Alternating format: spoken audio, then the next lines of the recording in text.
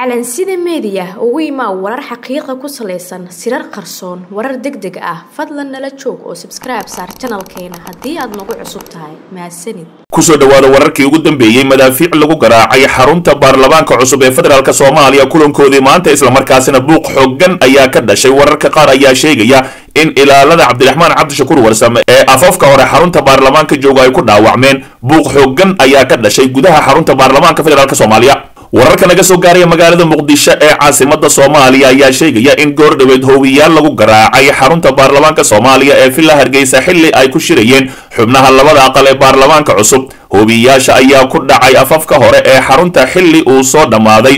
Kulan ay lahaayeen xildhibaanada labada gole ee lagu ansixiyey habraaca doorashada guddoonka xaaladda goobta ayaa mar qura isbedeshay waxaana qalqalgalay amniga laga dareemay xarunta baarlamaanka oo ay ka socotay shaqo adag oo lagu dardargelinayo doorashada. Sida ay ogaatay calansida meediya waxaa jira khasaare u badan dhaawac iyo burbur ka dhashay hoobiyaasha lagu garaacay xarunta baarlamaanka soomaaliya wararka ayaa intaasi ku daraya in dadka dhaawacmay ay ku jiraan laba ka mid ahay ilaalada xildhibaan cabdiraxmaan cabdishakuur warsame oo ku sugnaa barxadda baarlamaanka soomaaliya. Dhanka kale kooxda al-shabaab ayaa durbaba sheegatay mas'uuliyadda weerarkaani kadib qoraal ay ku soo baahisay internetka kaasi oo ka dhashay weerarka baarlamaanka. Kooxda ayaa shaacisay in hoobiyayaasha ay ku dhaceen gudaha xarunta balse ma shaacin khasaaraha rasmiga ah ee ka dhashay halkaasi arrintani ayaa sii kordhaysa walaaca laga qabo amniga dalka gaar ahaan magaalada caasimada ah ee muqdisho.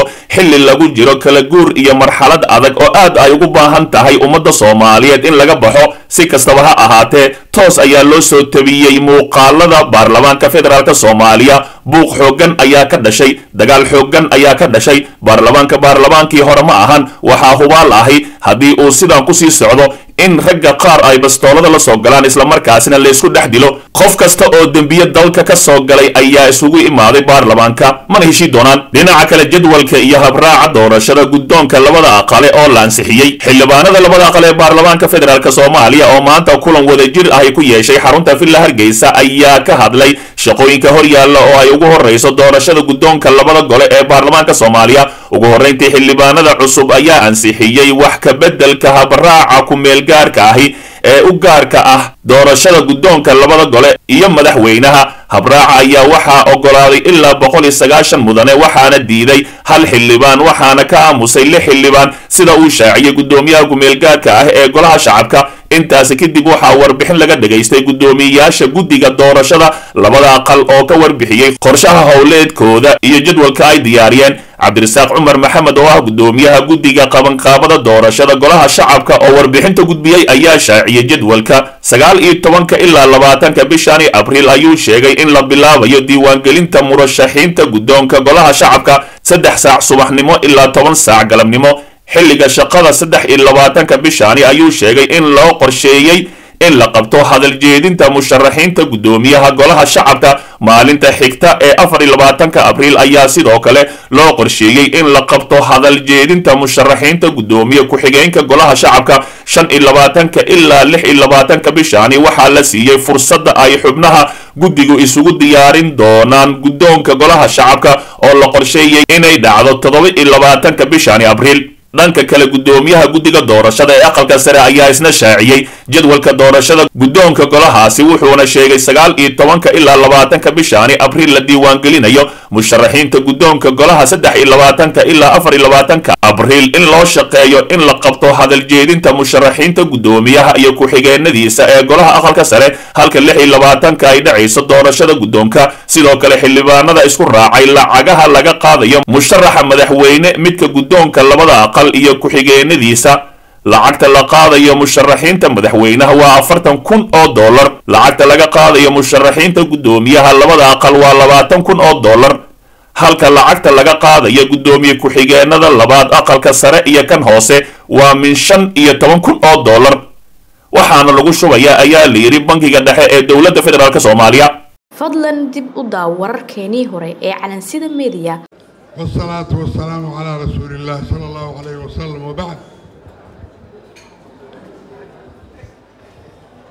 mas'uuliyiinta boqorada iyo wasiirada iyo xildhibaanada iyo dhallinyarada iyo saraakiisha iyo dumarka iyo in allaalihiinta joogta dhammaantiin waa idin salaamayaa. Assalaamu calaykum waraxmat ullaahi wabarakaatu.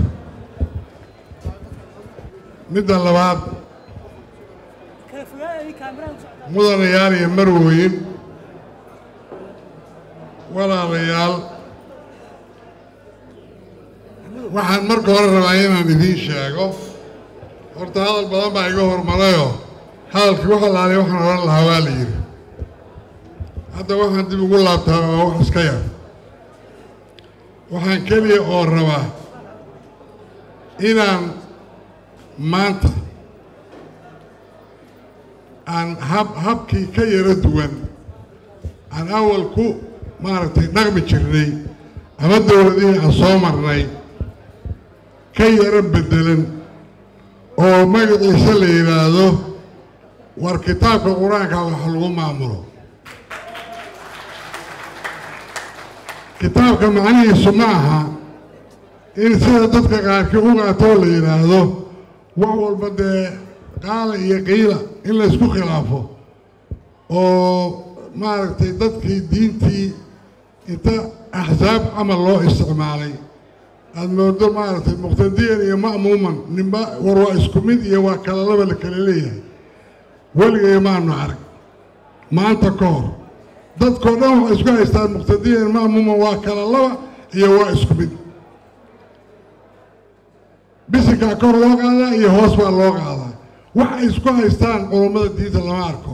Axsaab bayna noqotay. Diintii oo dhan waxaa laga dhigay axsaab tiro badan. In axsaabtaa laga daayo diinta oo kitaabkeenna iyo qur'aankaan qaadanno oo ilaahay darti iyo midnimadeeda iyo allaha na uuntay baryadiisa aan ku noolanaa rabnaa. Cid kaloo la baryaa ma jirto ilaahay baa la baryaa. Laa xawla walaa quwata ilaa billaah war afkaan u dhacnay god baan ku sii soconnaa.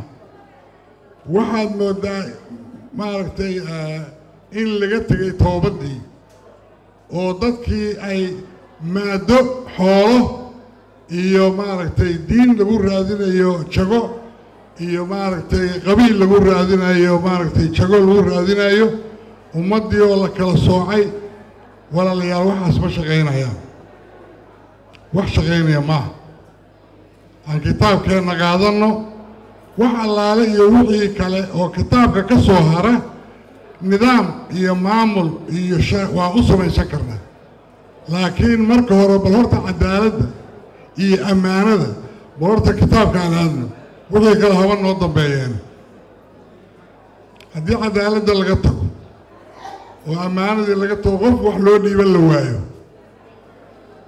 Oo kulliga iyo lacag in la helo mooye aan natiijo kale jirin oo qof kasta aan lacagta caabudo wax shaqaynaya lama arko annagu waa isku baaba'nay ummaddii afkay sii dhigatay waa la jabay bimacna alkelima waxaan u baahan nahay maanta in ceelka laga soo bixiyo. Aniga ilaahay baan weligay baryi jiray.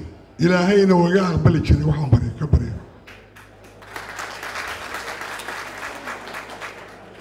waxaan idiin sheegayaa muddo dheer ayaan ilaahay baryahayay weligeyna ilaahay waxaan ka baryayay kama waayo.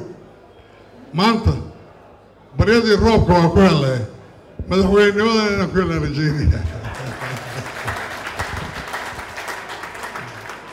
markaan madaxweyne noqdana waxaan ballan qaadayaa wax allaaliya waxaan qabanaya ilaahay dartii inaan u qabto ummaddayda u qabto dadkayga wax ugu qabto aan cimrigayga inta ka hartay haddaan noolaado aan ummaddayda ugu shaqeeya doonaya. Mar rabo inaan xoola ka helo? Masab way ogtahay waa igu taqaaniin. Inta soo qaaday madaxweynehii galmudug baan bar sheekh shaakir siiyey. Weligiin maaragtay wax jaga bixiya. Inta qaado qof u geeya weligiin ma ida arag. Waa laygula yaabay.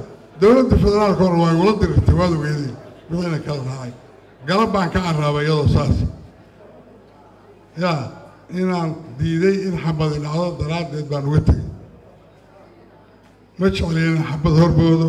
Ma jecliy inaan dhibaato horboodo?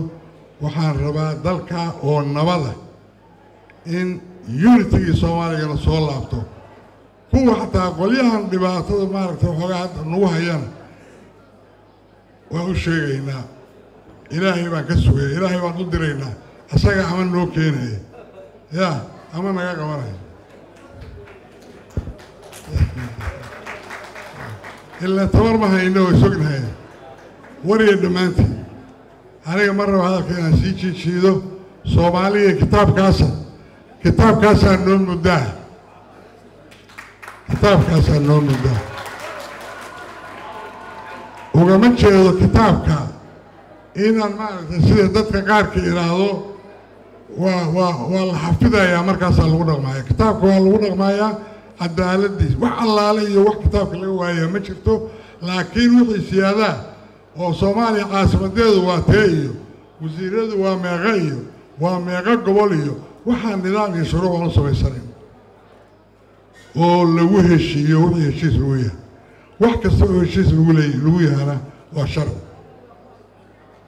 walaalayaal aniga waxaan xildhibaanada sharafta loo yimidna waan u malaynayaa inaan ka heli doono. Boqolkiiba sagaashan aniga huba inaan madaxweyne noqonayo runtaan idiin sheegaya ma maqlaysaan may maqlaysaan kulligiin madaxweyne anaa noqonayo ama rumaysta ama rumaysanina. Waxaad iga haddaan madaxweyne noqdona cadaalad midnimo horumar inaan ilaahay idankii inaanaan gacmaha u hoorsan inaan noqon beesha caalamku in lacagna siiya annagaana loo soo shaqo tegaya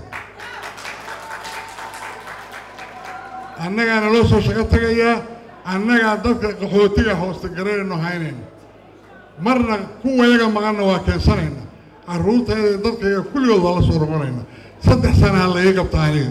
Inaan soo celiyo soomaaliya oo dhan isku taaro maanta meel igu qora meel kastana waa ka sheegaya hayla yaabinina haddaan boodo dheeraado waxbaan ogahay ilaahay waan baryahayaa waana sheegayaa madaxweynenimada wasalaamu calaykum waraxmat ullahi wabarakaatu